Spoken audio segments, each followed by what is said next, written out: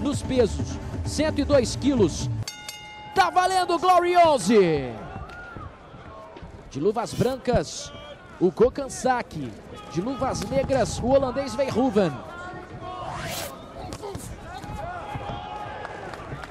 Bons golpes do saque. Tenta responder, o Verhoeven foi pro chão o saque. Vale a sua torcida, vale sua expectativa. Foi bem por cima agora o Vertugen.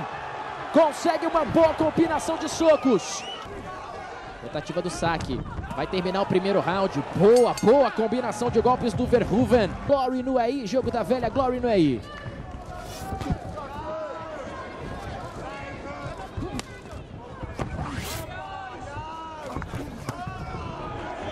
Muito forte o holandês. E é muito mais alto e mais pesado. E reclama. Opa! Reclama o Verhoeven de um golpe baixo. A série estava de costas. Foi de fato desleal o Gokan Saki. Luta já recomeçada. Os dois atletas duelando ali. Muito bem no box. Foi bem, entrou à esquerda agora do saque, se empolga o turco, vai embora para cima do Verhoeven, sentiu o holandês, foi para as cordas, momento crucial da luta. Bom upper ali do saque, perna esquerda por baixo, defende bem o Verhoeven. Entrou bem a mão esquerda agora do saque.